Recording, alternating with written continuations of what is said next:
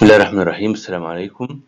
Uh, this is the fourth part of uh, vasculitis lecture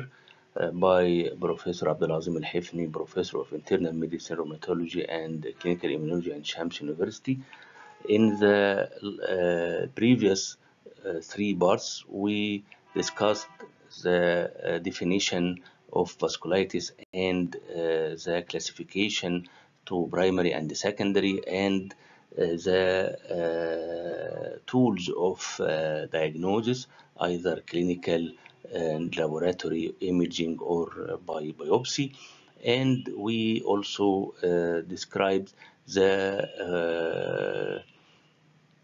models of uh, diseases uh, in the category of large vessel and medium-sized vessel vasculitis. This is the ILOs if you want to revise. And now we will discuss the small vessel uh,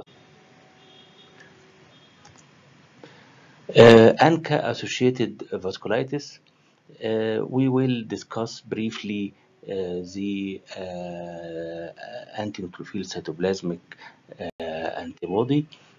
because uh, it is very important uh, issue in small vessel vasculitis because it is uh, subdivided into two main groups ANCA associated vasculitis and uh, immune complex associated uh, vasculitis. ANCA associated vasculitis is a life-threatening disorder characterized by uh, inflammatory infiltration of the small vessel wall, uh, fibrinoid necrosis, and the presence of circulating antibodies to anti-neutrophil cytoplasmic antibody ANCA. Uh, both microscopic polyangiitis and vaginal granulomatosis have a tendency to relapse. Patients must be followed on a regular and long-term basis to check the disease activity, either clinical signs of recurrence and ESR and C-reactive protein as acute phase reactants, and also the levels of ANCA antibodies because it is uh, go with hand in hand with the activity of the uh, disease. Now, the ANCA-associated vasculitis, microscopic polyangiitis, this is the first uh, the microscopic polyangiitis, it is a disease characterized by necrotizing small vessel uh, wall vasculitis with rapidly progressive glomerulonephritis يعني هتوقع ان الرينال فانكشنز الكرياتينين عمال يعلى ومثلا ممكن هايبرتنشن كمان often associated with alveolar hemorrhage بيبدأ يحصل coughing of blood hemoptysis skin and GI involvement are common هنلاقي بقى skin manifestations ممكن الاقي berberic eruptions ممكن الاقي skin ulcers ممكن الاقي erythematous rashes ممكن الاقي reticularis كذلك الجي اي affection بقى ممكن الاقي abdominal pain ممكن الاقي bleeding بالريكتم أو ميلينا كذلك نيوروباثي العيان هيشتكي بقى من تنميل في الإيدين في الرجلين من pain من pleural effusion كذلك. و patients usually have myeloperoxidase MPO antibody positive. وبالتالي ال criteria دي لو أنا لقيتها أنا النوع الثاني من أمراض ال small vessel disease ANCA associated vasculitis اسمه ال eosinophilic granulomatosis with polyangiitis or Churg-Strauss or Sharg and Strauss syndrome نسبة إلى العلماء اللي اكتشفوه. There is uh, allergic rhinitis, nasal polyposis, late onset asthma يعني في العمر أكثر من المتوقع بالناس اللي عندهم برونكيال الأزمة العادية. That is often difficult to control. The typical acute presentation with triad of skin lesions زي اللي واضحة دي berberic eruptions أو nodules asymmetric mononeuritis multiplex يعني هو مونو ولكن على الناحيتين مختلف وبالتالي ما نعرفش نقول إن هو بولي either sensory or motor عشان كده يبقى اسمه mononeuritis multiplex affection of the one or more nerve on each side uh, but it is not the same nerve with eosinophilia high eosinophilic count in the uh, peripheral blood uh, في اما بعمل سي بي سي الاقي الايزونوفيلز عاليه كمان في pulmonary infiltrates or and uh, pleural effusion أو pericardial effusion يعني في سيروزايتس زي ما هو واضح هنا هو في uh, infiltration في الاكس راي العاديه أو في السي تي chest up to 50% of patients have abdominal symptoms provoked by mesenteric vasculitis وبالتالي هيبقى في severe abdominal pain و not related لل meals أو أحيانا related ولكنها بتبقى غير مبررة وممكن يكون severe up to bleeding per rectum أو melena أو hematemesis كمان العيان with active disease have raised طبعا levels of acute phase reactants اللي هي ال ESR وال CRP وال eosinophils هتبقى بردك عالية. وفي antibodies لل ANCA بالذات ال myeloperoxidase اللي هي ال P-ANCA up to 60% of cases ال ACR American College of Rheumatology ادت لنا criteria for diagnosis of Churg-Strauss syndrome اللي هي asthma wheezing و expiratory rhonchi في eosinophilia أكثر من 10% في ال peripheral blood في sinusitis في pulmonary infiltrate maybe transient ممكن تروح وتيجي. في histological proof of vasculitis with extravascular eosinophils هاخد عينة من الجلد أو من ال peripheral nerve أو من lung biopsy transbronchial و mononeuritis multiplex or polyneuropathy presence of four من these six or more criteria yields a sensitivity 85% و specificity أكتر من 99% ال laboratory finding اللي أنا هلاقيها 70% من العيانين دول بيبقى عندهم anti-myeloperoxidase اللي هو MPO أو P-ANCA.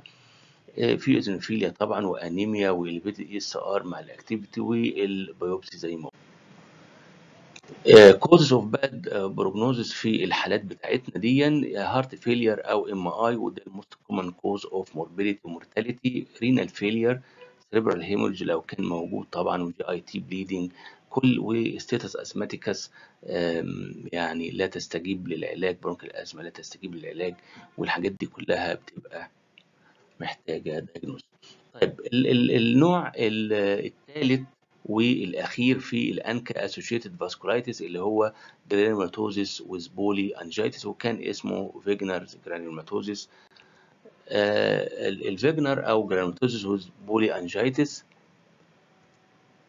it is a relatively rare disease with classic triad أول حاجة necrotizing granulomatous vasculitis of the upper and lower airways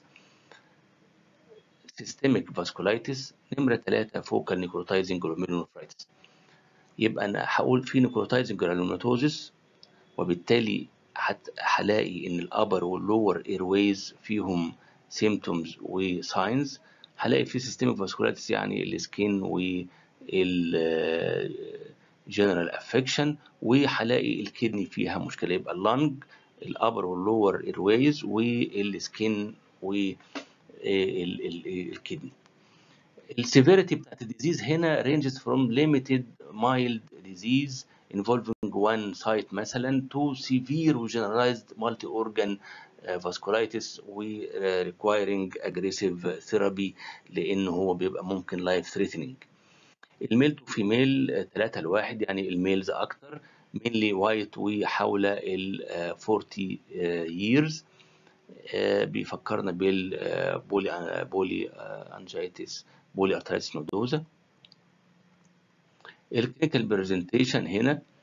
ال upper airway lesion sinusitis nasal discharge ulcerations septal perforation cartilage destruction بيعمل لي saddle nose deformity otitis media